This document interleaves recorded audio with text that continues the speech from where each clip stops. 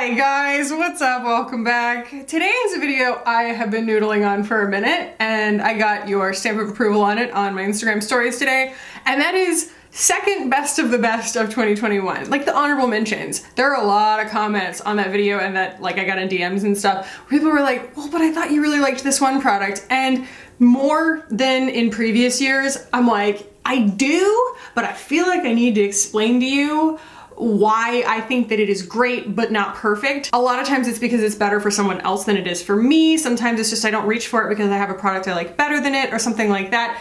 And I think that that is almost maybe just as helpful as finding out what I think is like a perfect product because I'm not the only person in the world and everybody's needs are different. And so especially if something didn't work for me for all the reasons that it's gonna work for you or you have it in your collection and you just need to know whether like you really need to buy the best of the best one or if like that one is just fine you know? And I want to save you guys money and I want to make sure that when you are making purchasing decisions they are as informed as I can possibly provide. So I collected a bag. It's not as big as my best of the best. So this is just going to be kind of a culmination of honorable mentions of 2021 so best of the second best let's go ahead and jump in.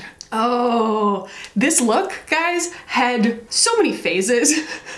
My hair was up in a bun and I just pulled it down at the very last second and it looks like this and I was like, okay, Hannah Louise Poston who. This eye look, I used some of my favorite things and then included some of my like newer things and it took this really cool toned turn I still don't really know how I feel about it, but it definitely is dystopian cowgirl fortune teller. So uh, just, you know, working those muscles. That was not a hand motion that I want anyone to gif. Let's go ahead and grab my bag here. Okay. So the first thing that I want to talk about is this, mainly because I stopped short of putting it on today because I wanted to show it to you guys in action one more time right after I sneeze.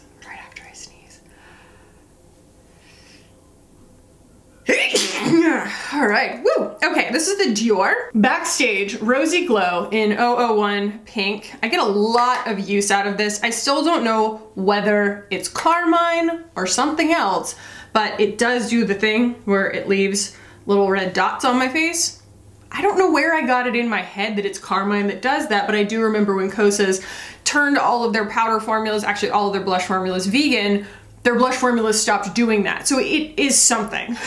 it is something that isn't a vegan ingredient, but I assumed it was carmine because it's red and beetles, the red beetles, that's what carmine is, like ground up beetles. Either way, I wanted to show this to you guys in action because I felt like my cheeks needed a little bit of awakening and also a little bit more cool tone.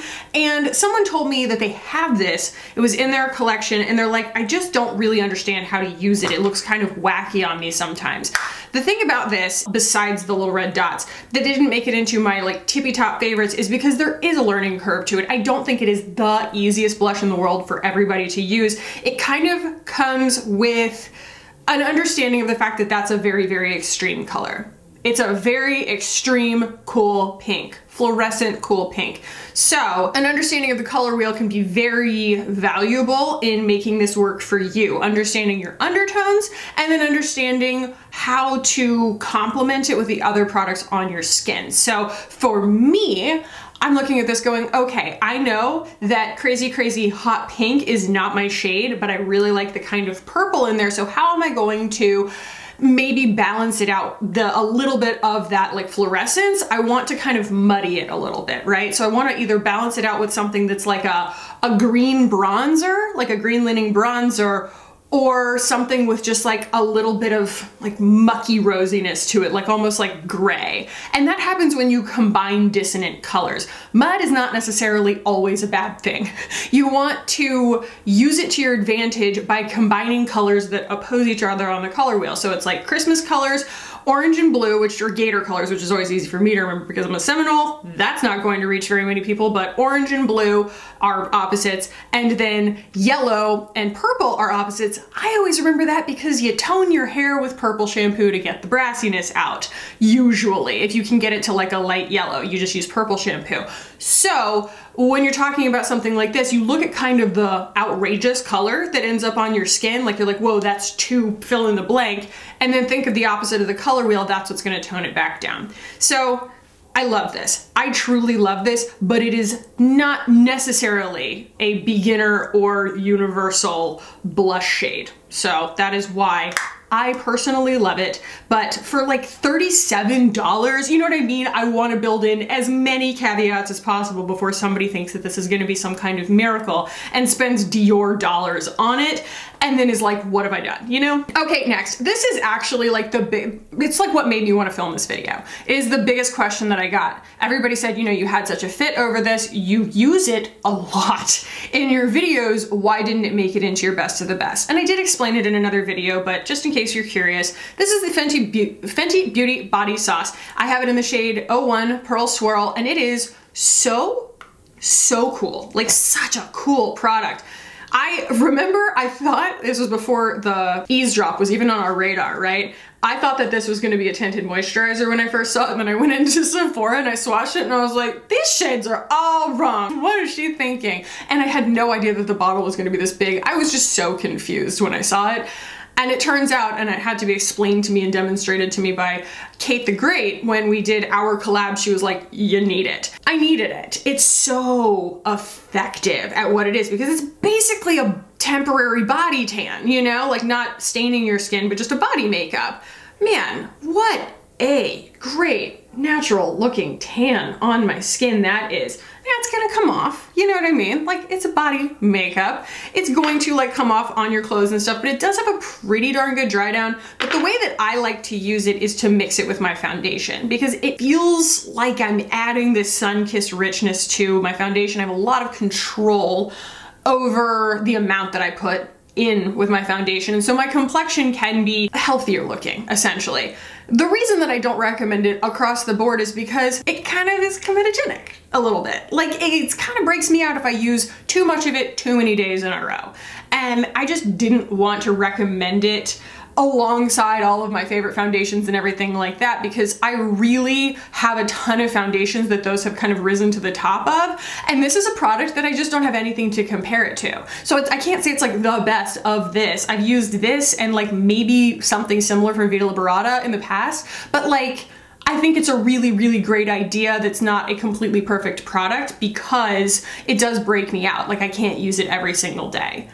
That's all, you know? And so it's like, if you don't have sensitive skin and you find a shade in this that is just as knockout as I feel like this is on me or as the shade that Kate uses on her, then absolutely. But I do want anybody kind of approaching this to, be, before they spend their $48 on this, 45, 49, something like that, to understand that if you have sensitive skin, it might really irritate your skin and not be worth buying. All right, this is the only like foundation that is in my second best of the best and it's the Tower 28 Sunny Days. I really love this, I do. It didn't make it into my favy faves because it's really hard to recommend combined SPF and foundation products. A lot of people were frustrated by this mainly because of the name. Literally only because of the name. The fact that they call it a tinted sunscreen meaning that it's kind of a sunscreen first and it just happens to have a tint when I feel like it's the other way around. I feel like it is much more a complexion product first and happens to have a little bit of sunscreen in it. It is 12.6% non-nano zinc oxide and I mean, I think they did an amazing job with this. I mean, the execution on this formula and the shade range is so awesome. This is such an easy formula to wear, especially for something that does have sunscreen in it. I feel like sometimes it's easy to be misled, especially by me in a position of like trying to influence you that you might think that because this is called a tinted sunscreen that you don't need to wear a sunscreen with it. I just felt like it was a little hard for me to be like, yes, this is an absolutely perfect product because I felt like there was just a lot of confusion around it. But I think it's absolutely gorgeous, totally beautiful for summertime, especially because it's just such a lightweight coverage, but also it still has coverage. Like it does look like a skin tint, like it has actual blurring and coverage. And again, the price is right and the shade range is pretty awesome. Like it got some of the best kind of across the board shade range release general reviews that I've seen in a long time. The other thing, and uh, this is more of a case of just getting pushed out by other things because I love all of my concealers so much and this one's just not different enough necessarily for me to be like, yes, and you need this because it is, you know, it just didn't have enough kind of commitment one way or the other for me to say it's better than the Kosas or it's better than the Thrive. This is the Tarte Hydrocealer. I have it in the shade 8S Porcelain Sand and I love it. It is also super hydrating. I happen to have it in a pretty fair shade, so I use it more for like brightening purposes. It's probably also why I don't share it that often is because I don't feel like pulling the Jackie Aina thing if I can help it, where she, I mean, granted, deep skin you tend to have to use more shades of concealer because you want to kind of bridge the brightness with the depth and also build in a lot more uh, undertone and temperature. And so what she's doing makes sense. But when I'm recommending products and I know that people are not on like this infinite budget, I don't want to be like, yeah, I use four concealers every single day kind of thing. I would rather just say, yes, you can use this one and like build it and don't buy one just specifically for brightening. So that's that's sort of my mentality, but like, do I love this? Absolutely. Would I like travel with it? Absolutely. It's so gorgeous. And I wanna say it has a pretty big shade range too. And you can get minis, which is great. I don't, I'm not a big fan of minis when you already have a full size, you know, it's like uh, a travel size or something, but like to try something and not be wasteful. So yeah, it does come in minis if you want to try them. Or if you wanna buy multiple shades. A couple blushes here. One, the Maybelline Cheek Heat, oh my gosh, hidden gem. Hidden gem at the drugstore. I have come so close to buying all of these. The only reason I haven't bought all of them is just because I'm like, okay, I got enough blushes and I feel like I have communicated how I feel about these, but just for my own personal use, this is just one of the most gorgeous, almost cooling, beautiful serum based blush creams and it has the tiniest, subtlest amount of minerality, that gorgeous shift on the skin. It just makes the cheeks look so healthy. Oh, it's gorgeous. And I love that even though it's called cheek heat, which would lead you to believe that they're all gonna be in these like fiery warm tones, there's actually a pretty cool spectrum of shades in this that go like to lavender and stuff. So yeah, man, hidden gem at the drugstore is the cheek heat. I need to pull this out more. It just was something that kind of got set aside and again, eclipsed by other things, but it's so good and it's like under $10. And the other ones are the LYS blushes. I think that this was just a case of me having shades that I felt like I didn't reach for as often because they are just very one and done wearable and I tend to kind of go for watercolor, but I did go ahead and use this today and I love it. So I used Self Love today. That's definitely the one that I reach for more. I feel like Empower is a little bit red for me instead of being like berry. It's a little bit too on the red side, but such an unbelievably gorgeous formula.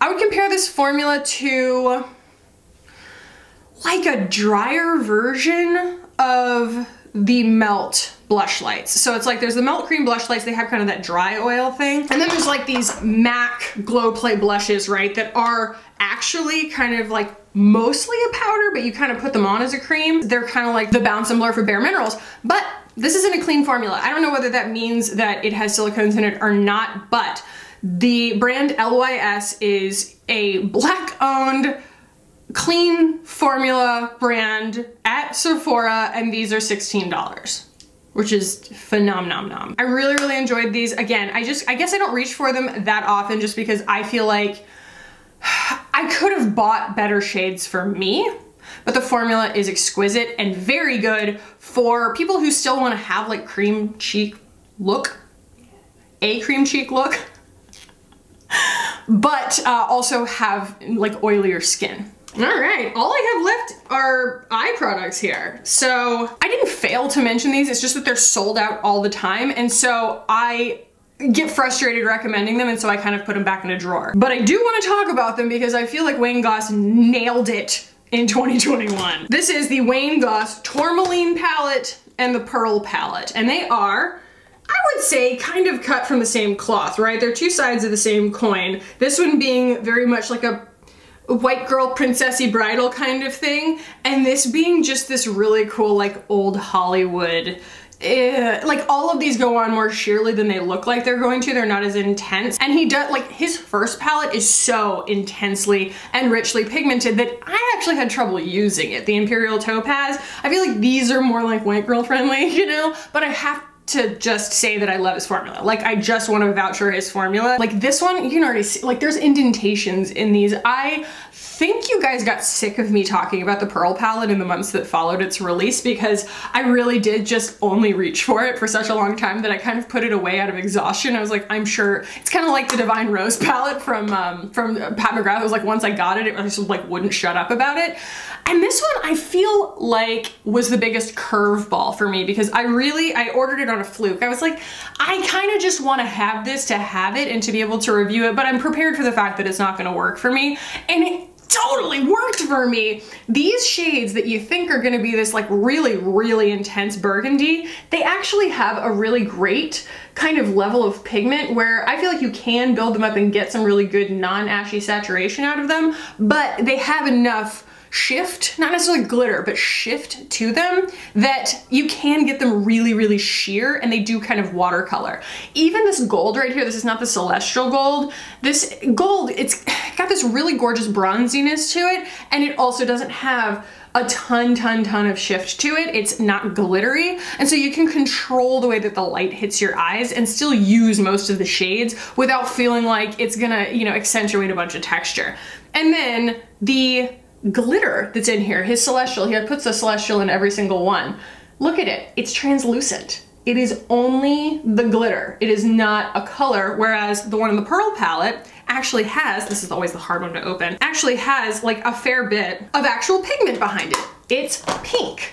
You know? Do you see what I mean now? Does that comparison help? So that's the Celestial from the Pearl palette, and then this one is from the Tourmaline palette, and it's just the softest, prettiest, like no pigment, scattered light kind of thing. And I think that was such an excellent choice. Just such an excellent choice for a palette that, because of the richness of the colors, the actual color story, could have been quite overwhelming, but that topper is a true topper. And so it doesn't go full glam, it goes old Hollywood glam. I feel like that nuance was executed really well on the Tourmaline palette.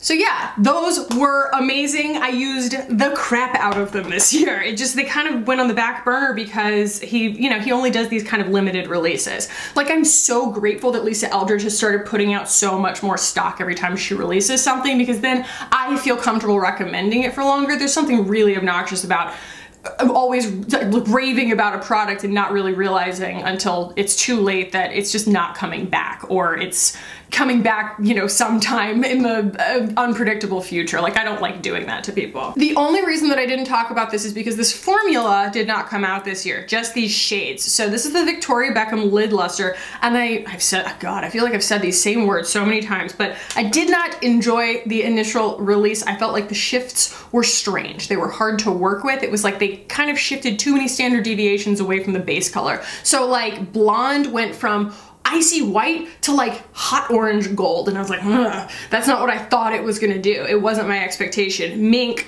was like a little bit too blue on the shift.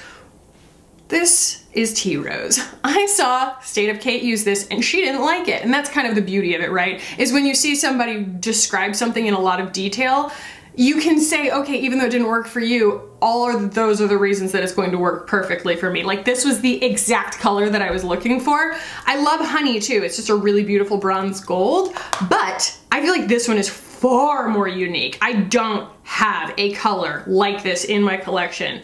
Tea Rose is just a freaking home run for the people who have a little bit of yellow undertone and so it's going to counterbalance the purple in it and it's going to just pull a really really pretty muddy taupe. I do have the Lisa Eldridge uh, glitter shadow in like the lighter purple on top. So that is why this appears so purple. But when I put this on I mean it really pulls basically like a warm brown on me because the purple works against my skin tone. And I also get that really lovely gold reflection the the little tiny micro glitter in there.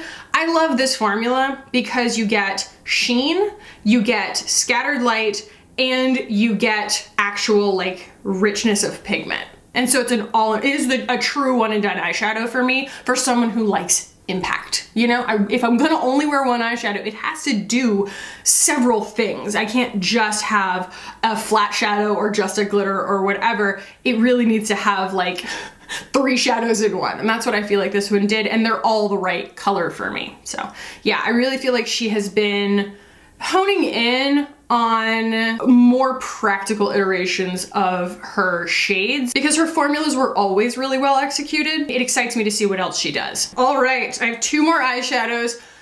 I mean, you know, how did I get away with not saying anything about this? When I tried Illamasqua, it was something that was so like off the beaten path for me because I knew I recognized the brand, but I couldn't remember why or from how long ago or whatever. And to me, it just kind of seemed almost like an indie brand at the time. Turns out they've been around for ages and ages and ages. And they used to be at Sephora. They're just not anymore. It's a UK based company. And I happened to order this shade in their chrome paints. I think that's what they're called. Iconic Chrome Pigment Paint. This is the shade Alluring. Is it the most unique shade in the world? Absolutely not. It is very similar to Lisa Eldridge's Angelica. It is very similar to the L'Oreal Infallible in Amber Rush, but this formula really knocked my socks off because it is like a mirror polish on the skin. It is so beautiful. And the other thing that kind of kept me from recommending these is that the shades perform differently shade to shade. I would recommend this shade. I'm not sure I would recommend the other ones. Some of them are sheerer, some of them don't have the kind of mirror finish, they're not as consistent, and some of the colors are just bonkers. They're just real weird. Like they shift in a very unnatural way. And there's nothing wrong with shifting in, you know, different ways and stuff like that. It would be different though if they all gave you the same kind of consistent chrome finish. I just found that Alluring was the one that gave me like the magical butterflies. And finally, I don't know, man. I guess we're ending on sort of a boring note, but like, I cannot stop reaching for this, but it's, I think I just don't talk about it because it seems kind of boring. It is the Revlon Colorstay Cream Eyeshadow in Chocolate. I'm wearing it right now, and I can't really even, like, articulate what makes it so special other than that ain't chocolate, okay? That is like a cool, taupey, purpley brown. And it is the ultimate crease shade. I'm wearing it right now. It is so good at working on every finish. So you can apply it on top of powder, you can apply it on top of cream, you can apply it on top of something that's dried down. It works on top of texture. And I like to apply it with kind of like I have this brush from Persona. These very densely packed brushes, so not necessarily a cream eyeshadow brush, but like, you know, it's almost like a a powder cream eyeshadow brush. It gives you almost like this crayon shape that you can just work into the crease like that. And it picks up a lot of product, but it spreads it really evenly. And I've just found that like this color. I think that that's the other reason that I didn't recommend it is just that I'm, I'm just sitting here raving about the nuance of a color. Not so much like, oh my God, go out and buy it in every shade. It's like this specific shade of this specific formula is better than a MAC paint pot. But I think that those are my favy faves. I also wanted to briefly mention BK. I've been getting a lot of messages from people that are like, hey, what BK brush do you use for this? What BK brush do you use for that? That kind of thing. So I thought that I would just run through them really quickly. There is always a 10% off code to BK underneath my videos and it is the lovely Lisa J Makeup who basically invented this line and they are ultra lovely, luxurious, gorgeous makeup brushes that have improved my makeup game and that's why I use them so much. This is the 101. This is what I use for cream blush. It's great. It's densely packed, it's angled, it does a phenomenal job. It's also pretty good for dispersing like cream contour and stuff. It's not too big for that. I have the one that took a ride all around my house because of my son. This is the one he kept sticking in his ear that I found Cheerios in. This is the 106 very good for targeted placement of a contour. That's what I use this for. I also have the 104 and the 102 blush and bronzer and interchangeably depending on the size of the area you want to apply them to. These are the perfect uh, pointed dome shape with a little bit of kind of a duo fiber moment happening. They're great. I have received comments where people are like, what brush was that? That looked fun. I think that's great because they're fun to use. I think that makeup obviously should be fun, but I think that a lot of times we forget that our brushes can make or break that whole experience. And I love my EcoTools brushes, I really do. But they love to discontinue their brushes. They really do. I'm loving that like these are mainstay core items and they're just, they're great investments. They really, really are. Perfect size for, for my blush, perfect size for just pounding on some bronzer. And as cream bronzer goes, if you're like me and a giant brush makes you feel powerful, the 105 might be for you. This is like the brush that you cram into the uh, Fenty cream bronzer and you just, hmm. And it kind of does a really good job of blending mainly because it covers so much of your face at one time. I think there's something to be said for using a really large brush in some cases because if I tried to like blend my bronzer with this, for example, symmetry would be so difficult to achieve. It's kind of like trying to apply something with your fingers there is so much more room for error because it's such a tiny, tiny tool and you're touching your face so much more. I also really like to use this with the like the Makeup by Mario and stuff like that. It's just really good for getting a nice diffused line, I should say, but without losing the line, you know, because you don't want your contour like all the way like down to your neck or something. So anyway, and then there are just the eyeshadow brushes, right? I mean, I love my Wayne Goss brushes, but he loves to just discontinue them drives me absolutely up a wall. My O2 brush from Wayne Goss that I love so very, very much. I just don't think that you can get it, you know? It's just super aggravating. It's really these three brushes from BK that are my choice. This is the one that I use all the time and I have it in like the travel size too. It's like a slightly shorter handle. This is the 201. Uh, it's just the perfect little domed guy to, you know, do all your business, all, all, all your everywhere business. Just really, really great for that. This guy, wow, what a great little brush. This is the 207 and it is just so good for getting like right there. And also if you're trying to get a really, really good like outer V situation, but you have that issue like I do where like this part of your eye likes to just stay bald for some reason. It just doesn't want eyeshadow on there. I guess it's because like when you push the skin, it kind of always covers up that one spot. This little baby will get in there, okay? And then, uh, granted, I have to really have the patience to work with something this tiny, but I have never seen this tiny of a brush before for putting on eyeliner, earth signs. Like if you want a really, really precise line, you wanna be able to control every stroke, this is the 208. And she's so eensy weensy. Like let me compare it to the eyeliner fine brush from Thrive, and then this is that 208 from BK just for scale reference. In case you're like, that's pretty much the size I use. Are you sure? because this is so tiny. It's just so freaking tiny. You can do anything with this little guy if you have the patience. But those are the main ones from BK that I use and how I use them. This is just a really good kind of FAQ, I feel like. A lot of things that I get messaged about. So yeah, guys, I hope this was fun and helpful for you.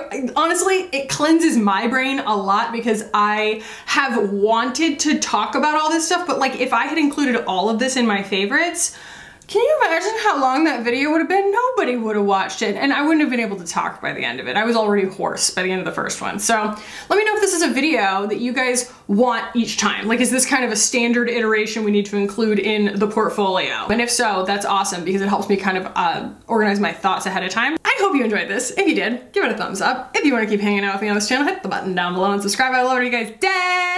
That was really annoying. Um, I love you guys so much and I'll see you in the next one. Right.